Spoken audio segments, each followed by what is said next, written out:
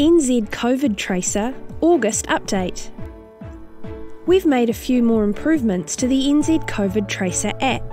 Version 6.0.0 includes new features to help you keep your diary up to date.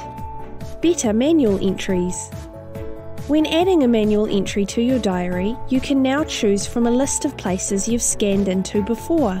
This means that if you forget to scan in somewhere that you visit often, you can fill out your diary later, just like you scanned in at the time. The entry will contain all of the details about the place from the QR code. This means that you'll get an alert if someone who was at that location at the same time as you tests positive for COVID 19. You can create manual entries by tapping Add a diary entry manually from the scan screen, or by tapping Add diary entry from your diary. Select Place or Activity and start typing to find the right place. Saving locations. You can also save locations you visit frequently. This makes it easier to find them again when you manually add diary entries. To save a location, select the My Data tab. Then select Saved Locations.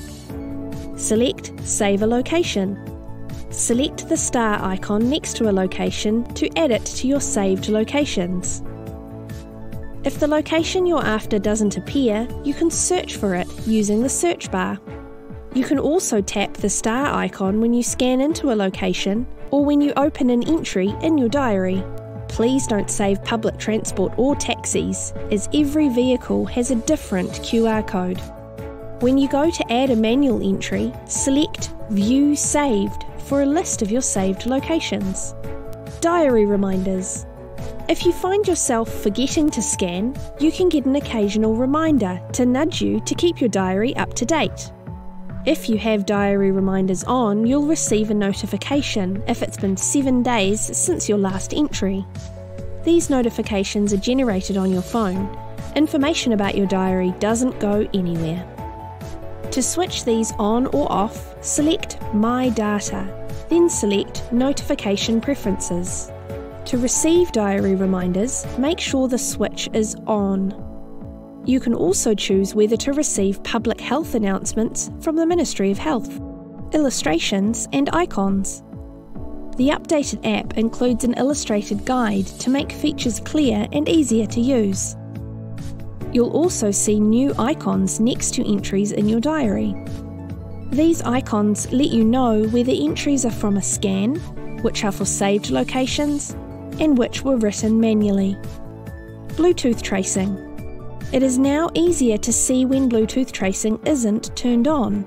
If you haven't turned it on, when you go to scan, you'll see Turn on Bluetooth tracing. If Bluetooth is off in your phone settings, Bluetooth tracing can't work properly, so you'll see Bluetooth tracing is not active. You'll also see a larger indicator on your dashboard. If the indicator is showing red, select it to turn on Bluetooth tracing.